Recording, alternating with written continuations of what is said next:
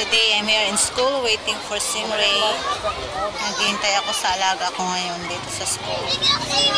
Sobrang daming tao, mga estudyante, at sobrang init. Grabe ang init ngayon dito. Hello! Grabe init ano?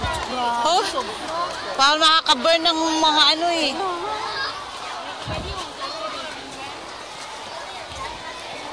Uwian is 1.15. So now it's, I'm still her waiting outside the gate.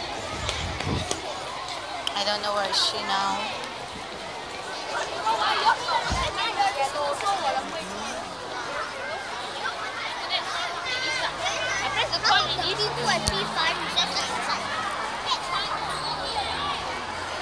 It's so hot today.